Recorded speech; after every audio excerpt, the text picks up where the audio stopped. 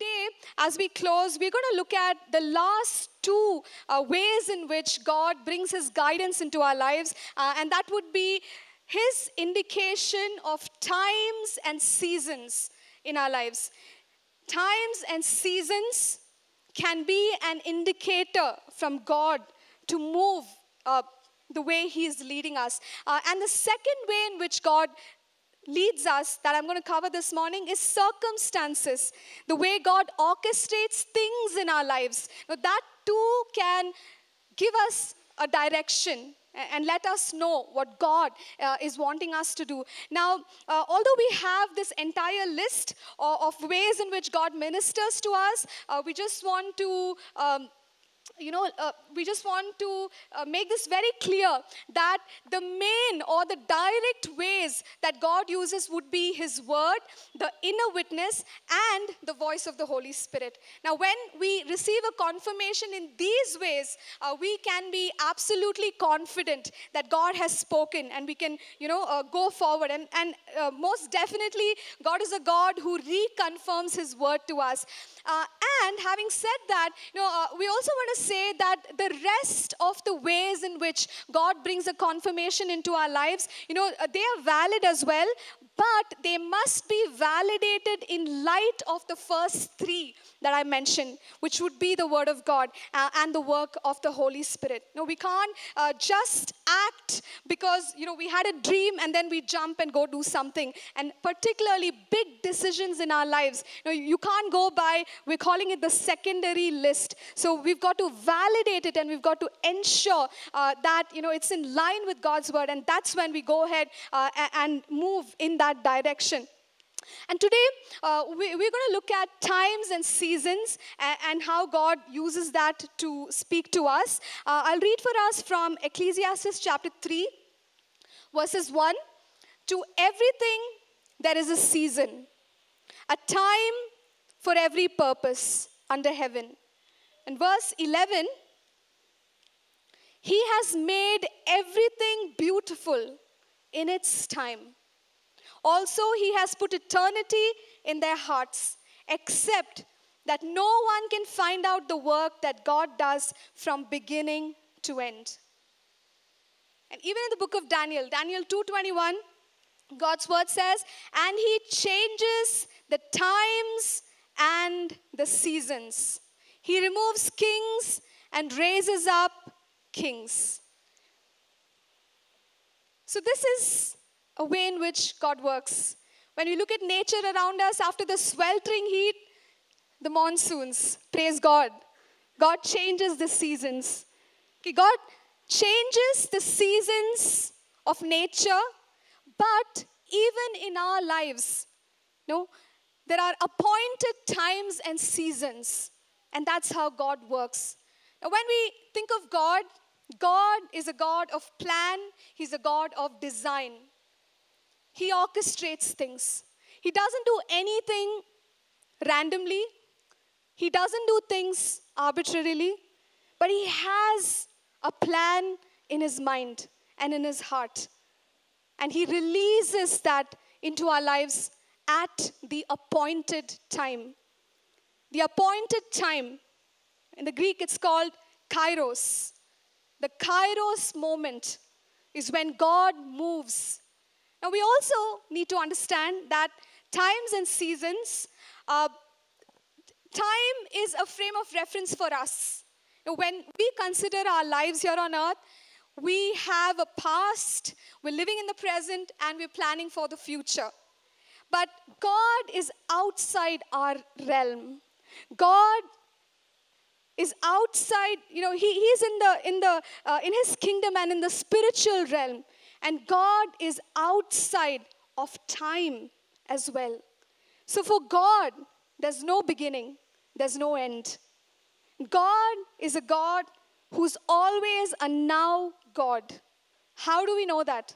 When Moses asked God to uh, reveal him in the desert, God revealed himself and said, Go and tell Pharaoh, I am has instructed you. God is always in the eternal now. And God works in the eternal now. But when what He's doing is released into our world, in our lives, you know, we refer to that as the appointed time in our lives, the kairos moment of God in our lives. And so God works through the kairos moment. And very many examples in scripture. Uh, the most important one is that in Genesis 3:15, uh, in the garden, God spoke uh, and He said that He would send the seed of the woman to crush the serpent. And he was referring to Jesus Christ. But it wasn't until 4,000 years that Jesus came. And so there was a passage of time which we refer to as chronos. The passage of time here on earth in the lives of the people, generations, uh, uh, you know, generations moved, and, and then finally, we read in Galatians 4 4 that in the fullness of time, Jesus Christ was manifest. So God works in the fullness of the passing time, or God works in the fullness of chronos. And that is what we are calling kairos. Think about God's promise to Abraham. God told him, 400 years, your descendants will be slaves of the Egyptians. And exactly the way he promised Moses, what happened?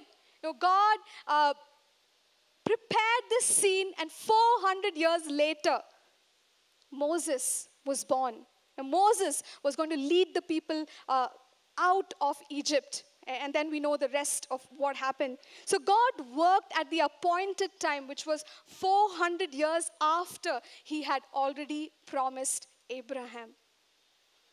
So in our lives, one of the things that, that we have to grow in uh, is to understand the moments of God, the now moments of God. When God God, when is your now moment for this or that or something else? Now, that's a discernment that we've got to grow in. And when we develop that, we're able to tell what God is doing uh, in our lives. And the Bible also uh, tells us that there, were, there was a category of people, there were the sons of Issachar uh, in First Chronicles chapter 12 and verse 32. Something special about this, this group of people is that they had the understanding of the times to know what Israel ought to do. Their chiefs were 200 and all their brethren were at their command. So First Chronicles 12:32 gives us a reference of these people.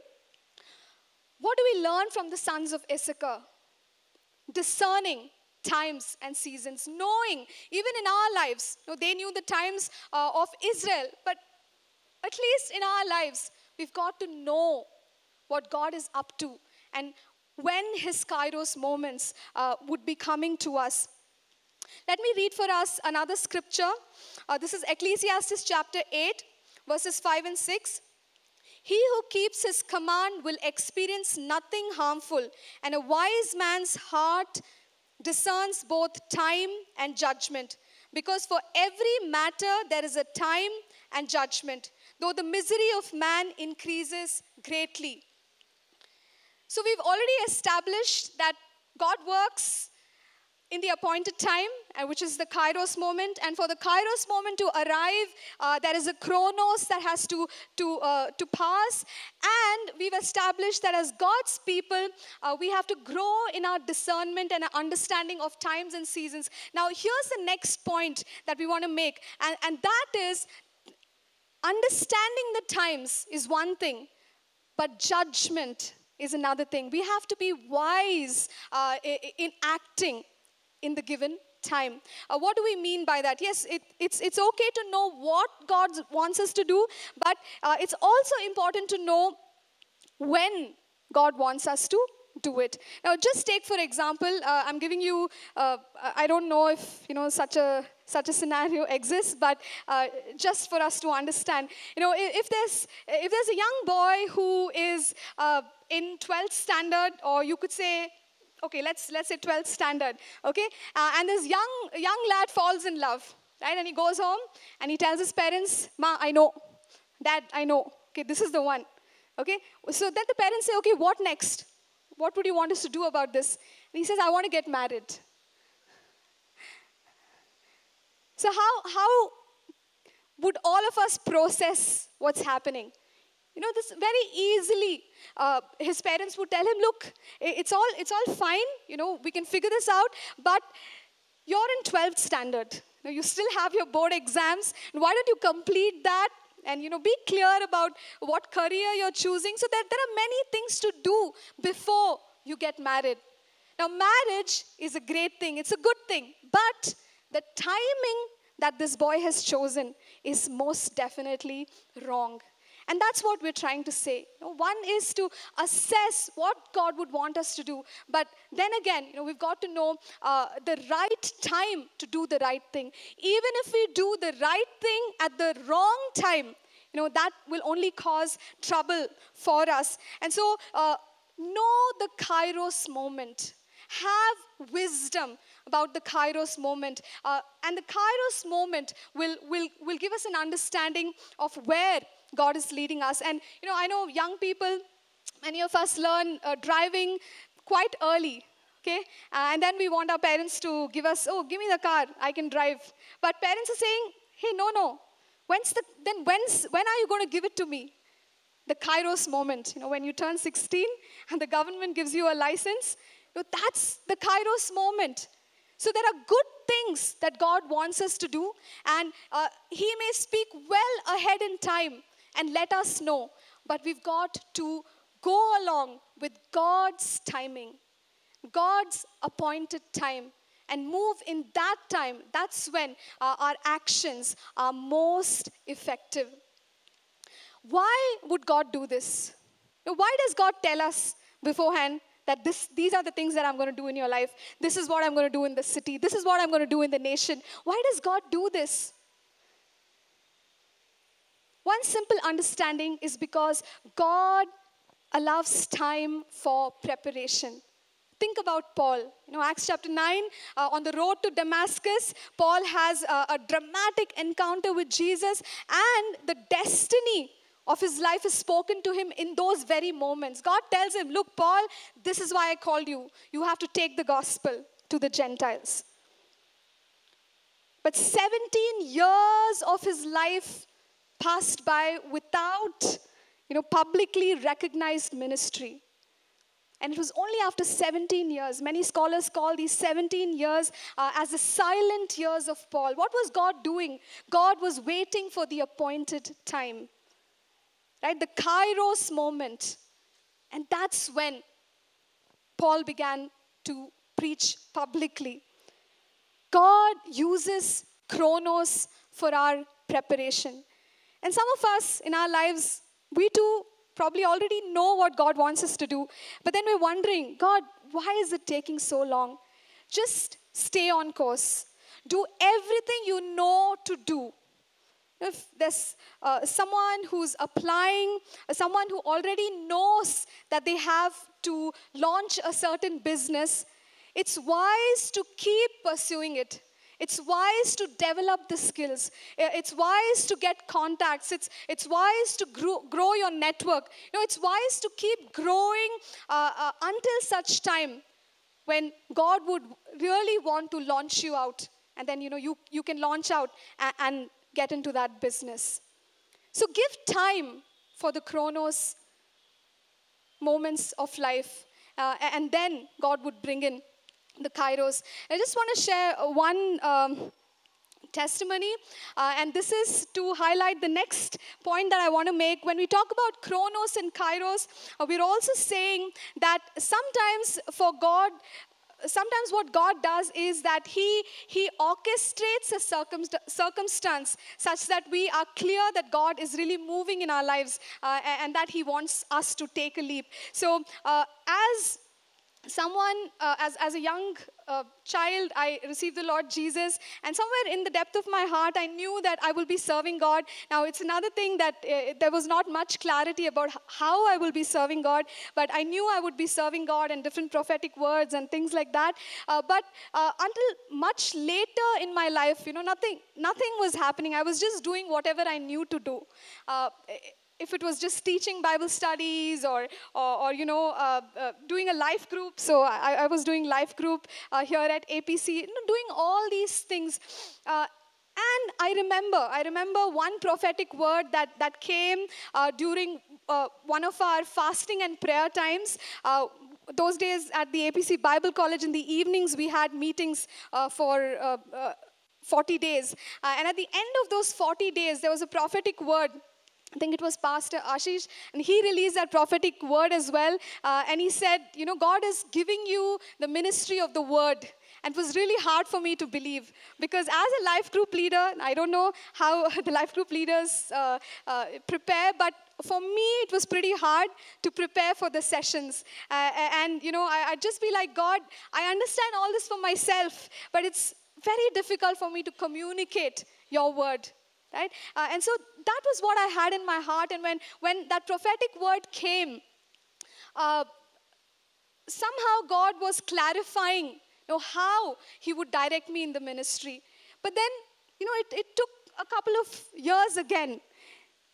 And so i had to wait for those moments in life when god chose to fulfill what he had spoken. God had spoken way earlier but the doors opened many, many years later. As long as we keep doing what God has called us to do and we, we, we don't give up in the chronos, you know, the kairos will come. And whatever it is that God has promised us, you know, if God is calling us to full time ministry, He will clarify it and the doors will open at the right time uh, and, and, we can step into it. Or in your business, as an entrepreneur, want to launch something, there's a right time to do it. And just trust God uh, uh, to bring, bring those moments uh, and orchestrate things uh, for you.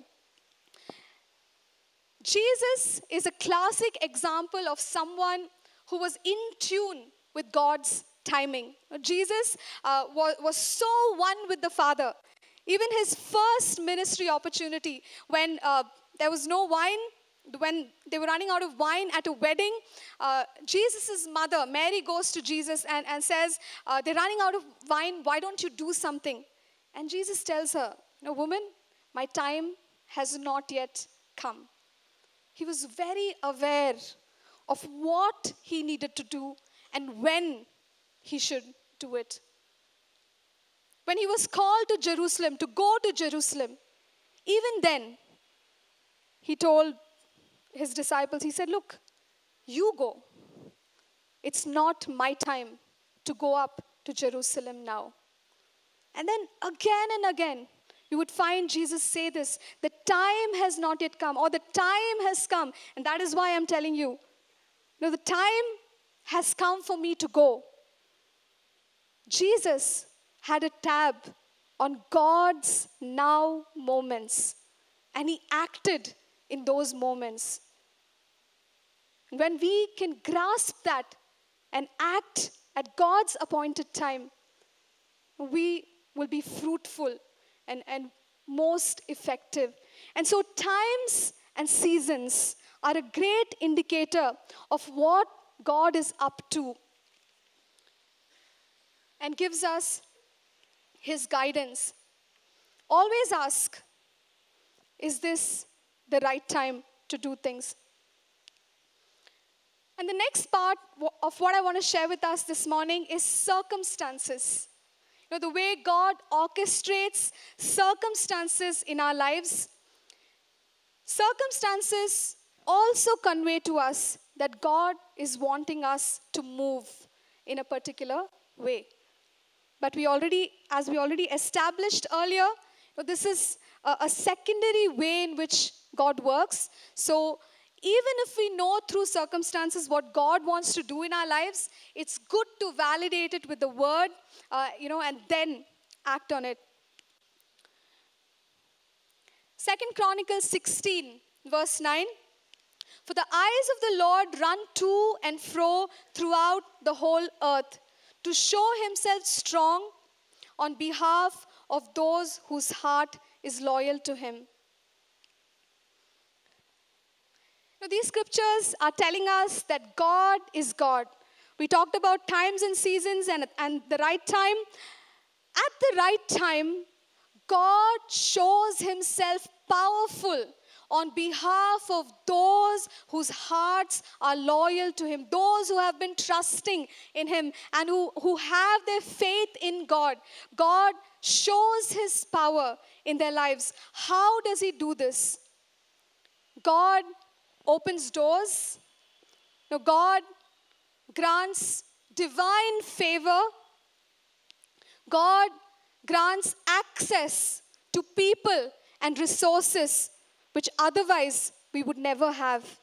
And in this manner, God acts in his people's lives. And whenever he is working in this way, know, we have an indicator that God is wanting us uh, to receive that as his guidance. And the thing about God is, he can do it because he's God. Nobody can stop him when He wants to open doors for us. Job chapter 42 and verse 2 I know that you can do everything and that no purpose of yours can be withheld from you. Revelation 3 7 affirms the same word and, and it says, And to the angel of the church in Philadelphia, write, These things says he who is holy, he who is true, he who has the key of David. He who opens and no one shuts, and shuts and no one opens. So God guides us through his power. He opens doors and he shuts doors. And when God is working in this way in our lives, you know, with, of course, the confirmation of the word, we can identify the exact open door that we must walk through. Take, for example, someone who has completed uh, their graduation and applied for jobs. Uh, though they've applied for several jobs, they get only one offer. No other offers, only one offer. And then the person's like, God, if I had a choice, it would be better because I can pick what I want. But God is granting only one open door. And many times when God does something like this, it means that God wants us to take that one open door. Unless know, He indicates to us in some other way. Know, maybe you have a dream, hey, don't take this job. Then don't take it. But if only one door opens, it's God's way of saying, this is the way walk in it. What are the open doors in our lives right now? What are the opportunities around us right now? Are there needs that we have answers to? Just think about it. What are the circumstances? How is God showing me that I can walk through and make a difference? If there are just these open doors before us, Maybe what God is saying is, I am leading you in this way. Go ahead and take it. Now, talking about open doors and shut doors, you know, we have to uh, make some clarifications now. There are many reasons why doors can be shut. Okay, we've, we've already looked at the fact that one way in which God leads is by opening the door but you see, God can also lead us by shutting doors. All right? Now, to understand how God is working, here are a couple of things. When the door is shut, okay, we can ask these questions. Why is the door shut? If we get if we get a clarity that it's God who's doing it, that's fine. You know, we, we, we know what God is up to. But there can be other reasons why doors are shut in our lives. And the main reason why doors are shut are because of our enemy, the devil. Okay, he loves to oppose God's people. So uh, uh, we cannot just always take a closed door uh, as God's answer and say, you know, God is, is telling me not to go in that direction. We have to evaluate. And when we know that it's because of the working of the devil, it's an opposition from the enemy. You know, we've got to keep pushing past that. You know, there are storms uh, in our, in our uh, path with God. There are storms uh, even along the way that God is leading us in. Why do these storms come? It's not because God is creating these storms, it's not because God is stopping us, but Satan is the one who brings these storms our way. And so some shut doors have to be discerned that they are not from God. There are storms which are not part of God's plan. And there are mountains that try to stop us, which are also not from God. And it's not just the devil who tries to stop us. We can have closed doors because of what other people have done. the life of Joseph is a great example. he didn't do anything, but his brothers sold him to a foreign country and he became a slave. So, because of what others have done, we might find that we are, are, are facing closed doors. But we need the ability to discern that, hey, this closed door is not here because God wanted to obstruct me, but this closed door is here so that I can continue to put all the energy I have, you know, to go against it, to rebuke the storm, to speak to the mountain and have it out of my way. And unfortunately, sometimes we encounter closed doors because of our mistakes, the things we have uh, chosen, uh, things that we've, we've, you know, run ahead of God into, and, and, and we're wondering, God, why isn't it working?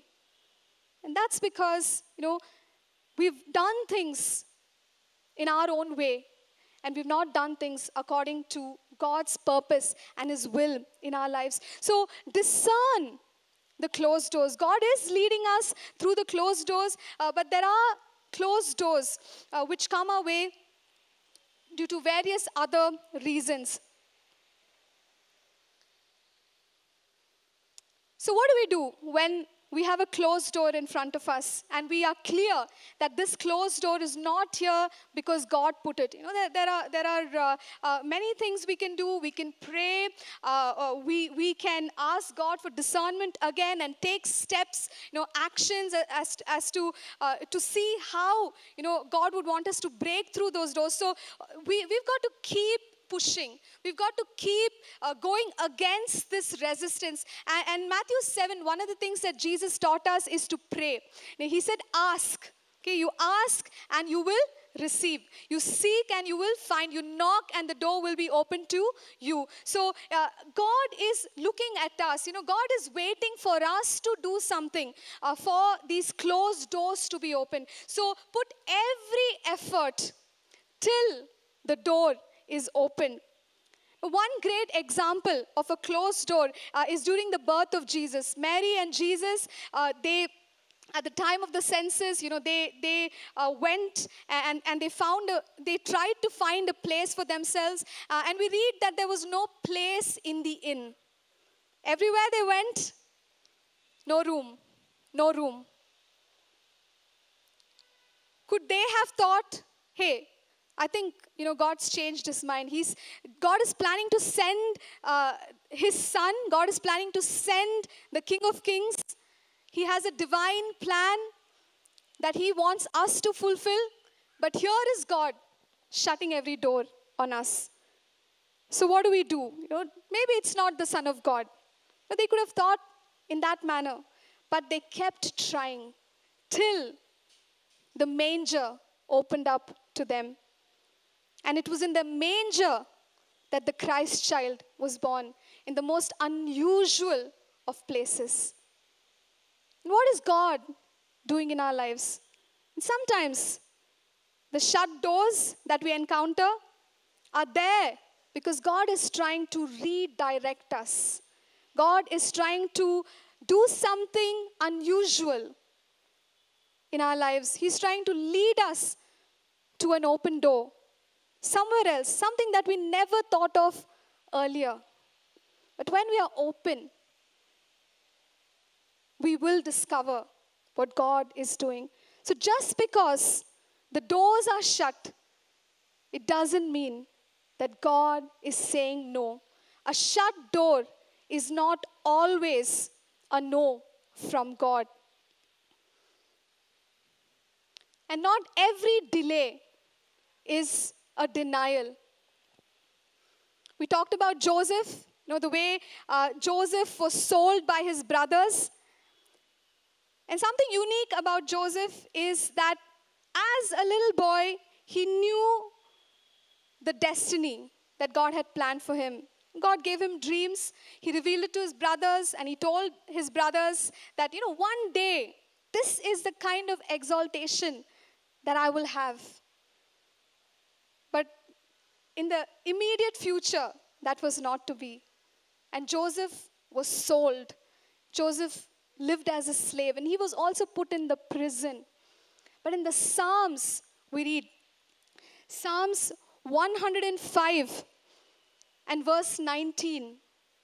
The last part of that passage, it says, The word of the Lord tested him. So Joseph went through so many things until the kairos moment arrived. The appointed time came, uh, and the tables turned. You know, he went from being a prisoner to, to someone in authority, and then we know the rest of what happened.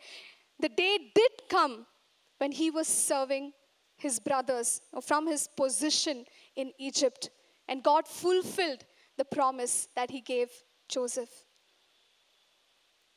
If Joseph were to give up and say, hey, this is not going to happen, I think God has forgotten, right?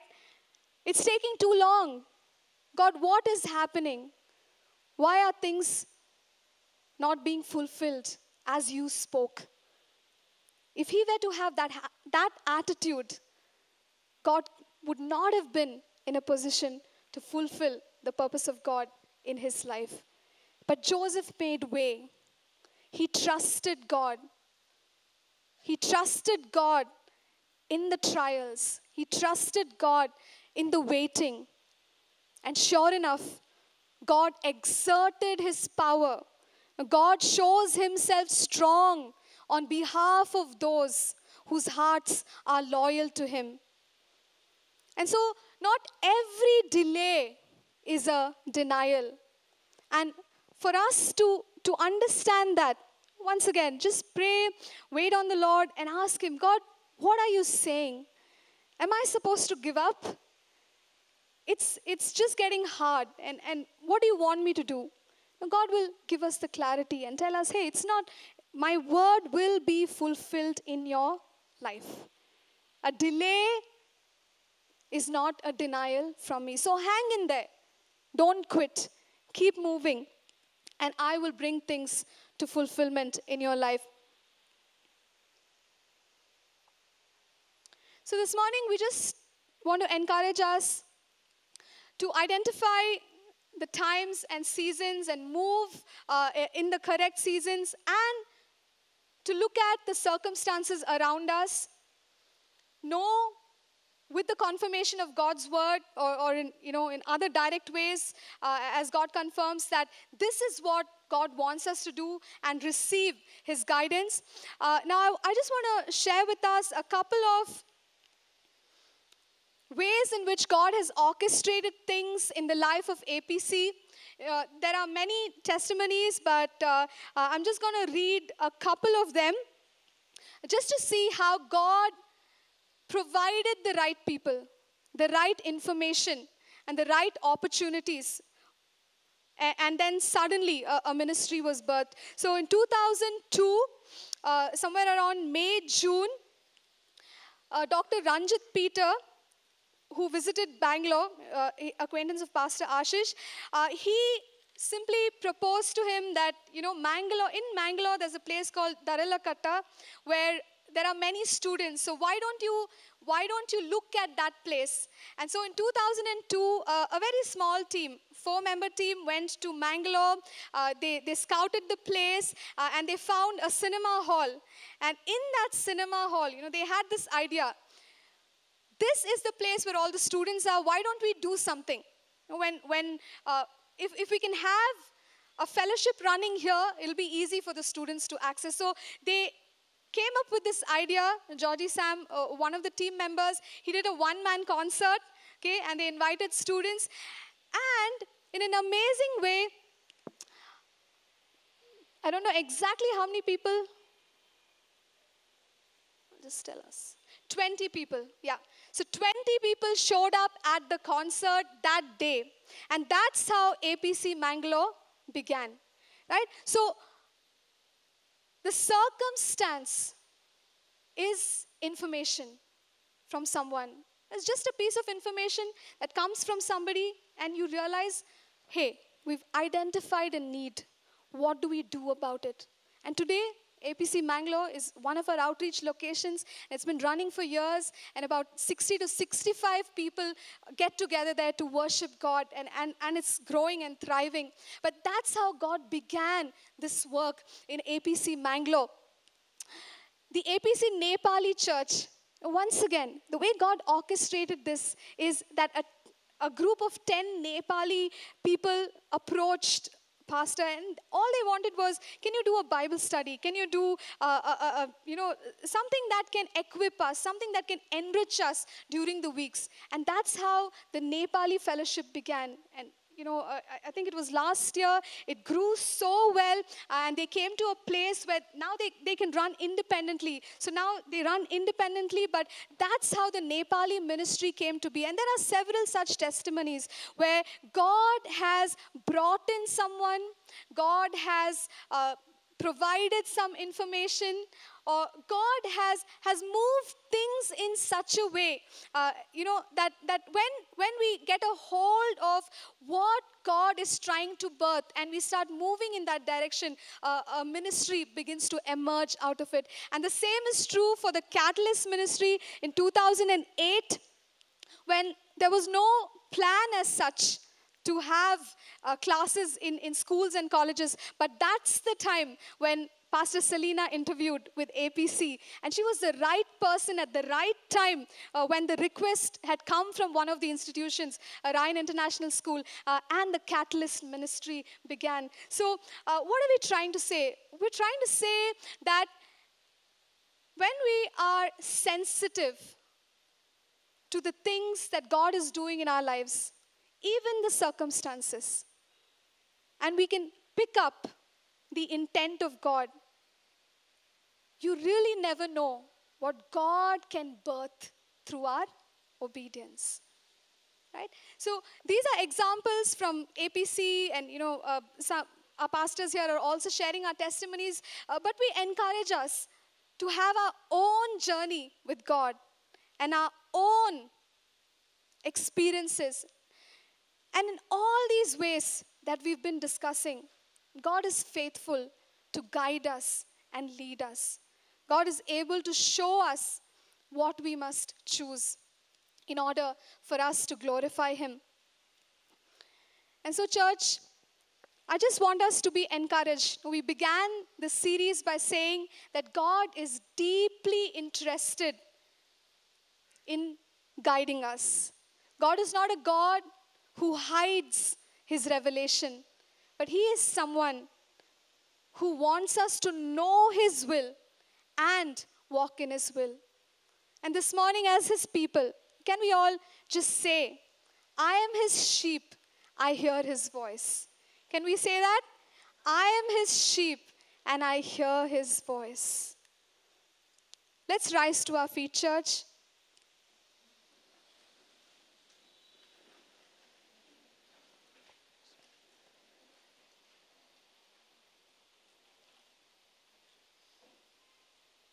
We'll just take some time to worship God. And even as we do that, ask God to release His guidance into your life. Just ask the question God, what are you doing? Lord, what are you saying? What would you like me to do?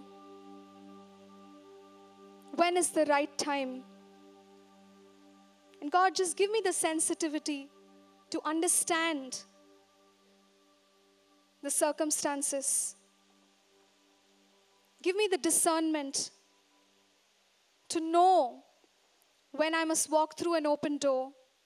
And God, when the door is shut, give me the grace to know whether it is you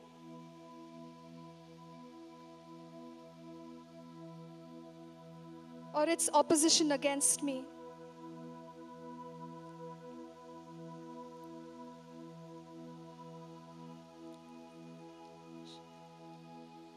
And even as we seek God, God is someone who comes to us like the rain.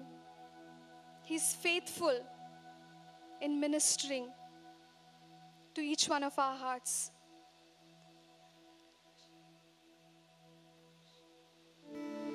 God, I look to you. I won't be overwhelmed. Give me vision to see things like you do. God, I look to you. You're where my help comes from.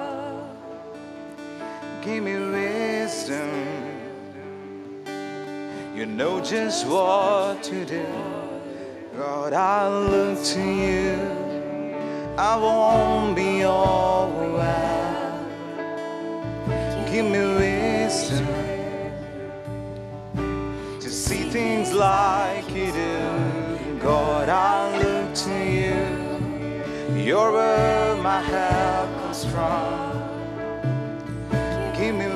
Wisdom. You know just what to do. I will love you, Lord, my strength.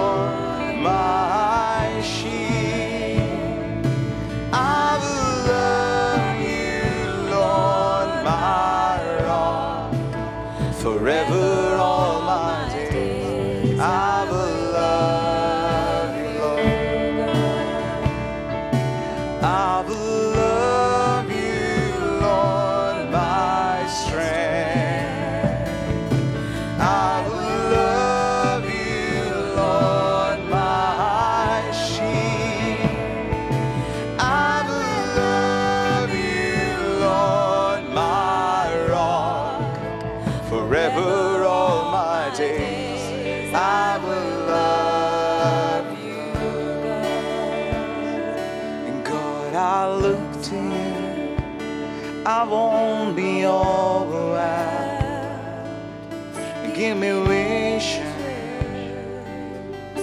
to see things like you do. God, I look to you. You're where my help comes from. Give me wisdom. You know just what to do. I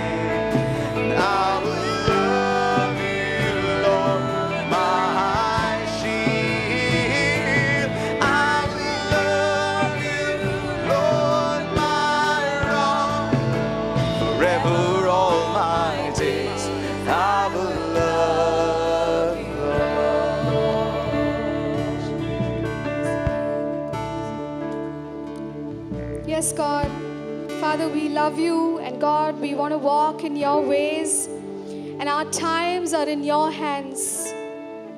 Our times are in your hands, oh God. And God, today we pray that each of us, God, will be strengthened in you to hold on to you because you are faithful. Lord, you are faithful and you will do it. Lord, we pray for understanding, God, understanding to receive your guidance.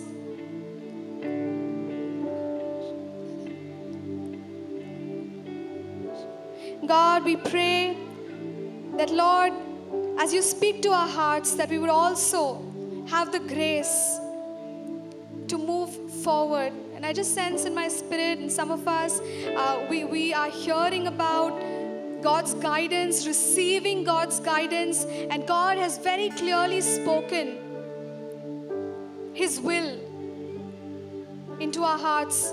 But taking the first step is where we are hesitating. And I just want to encourage us that the just shall live by faith. The just shall live by faith. Take a step of faith in that confirmed direction. And if the door is shut, knock and push open with the spiritual strength that God has given you. A shut door is not a no from God. And God, today we just pray that God, you will give us that discerning God. But those of us, Lord, we, we need to move forward, that Lord, we will. Even if the door is shut and it's hard, Lord, we will continue till we see the fulfillment of your promise in our hearts and in our lives, oh God. Let's now take a few minutes to pray for, for uh, physical healing. Uh, encourage us to go ahead and pray if there's, uh, there's pain in your body or a particular condition that, that uh, you are suffering with. Uh, Christ Jesus is the same yesterday, today, and forever. Jesus healed everyone who came to him. And so this morning we can cry out to him and say, Jesus, I want to experience your healing in my body. So just go ahead and, and, and pray that and say, God, I want to experience your healing in my body. Father God, I declare your wholeness in my body in the name of Jesus. And if you, you are not suffering with any, any condition, you can pray for a loved one, pray for a friend who's asked for prayers. But let's pray uh, that sickness would be removed from our bodies.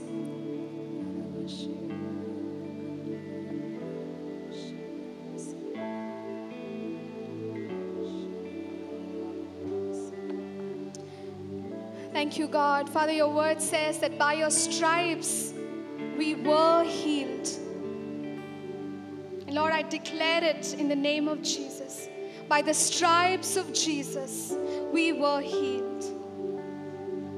And Father, I command sickness and disease to be removed from our bodies, for pain to leave in Jesus' name. Father, I command your wholeness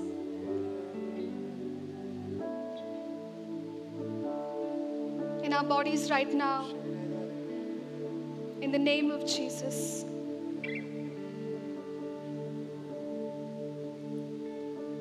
If it's possible to check, you can do that. You know, if, if, if the, the condition is something that you can't check right now, that's okay. You, you can have it checked with the doctor and, and then testify. But if there's something you can check right now, you can let us know if you've experienced a healing in your body.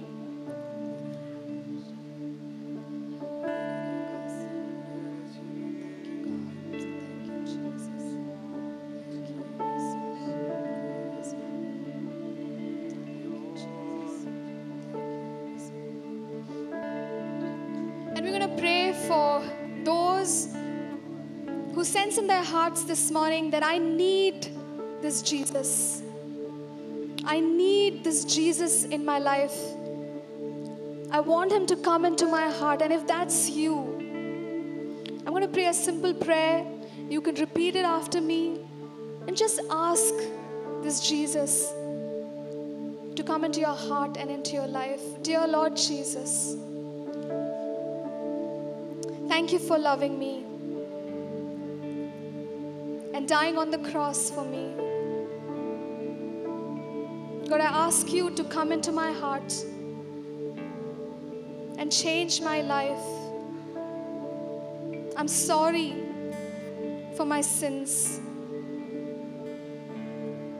Make me a new person.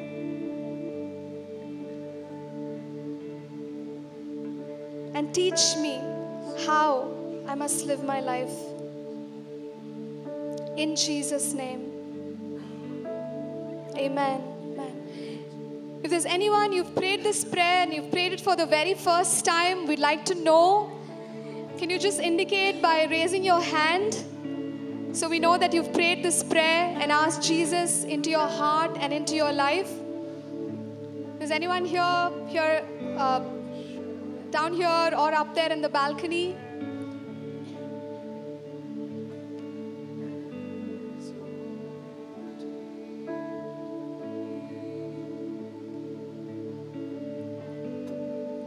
So if you've prayed that prayer, then uh, uh, we want to let you know that as you at the exits, uh, ushers uh, are standing there and they have a green bag with them, uh, which, which has material that can help you grow as a believer in the Lord Jesus. And we'd like you to have that.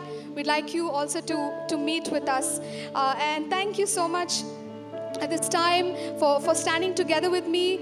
Uh, and, and we will just take a few more moments to pray and close this morning.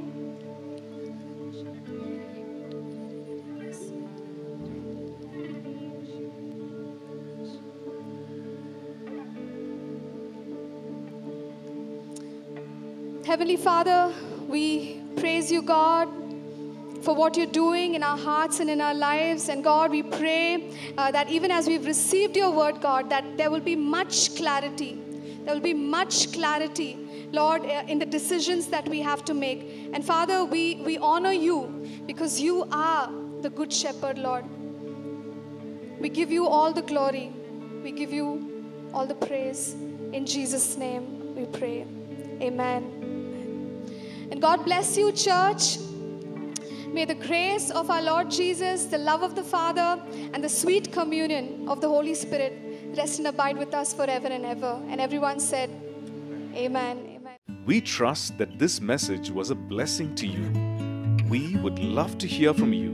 You can email us at contact at apcwo.org. Also, visit our website apcwo.org for additional resources. Thank you for listening and God bless you.